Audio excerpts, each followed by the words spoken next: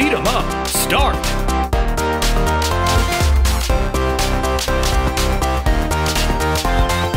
Today's game, Streets of Rage. Let's beat them up.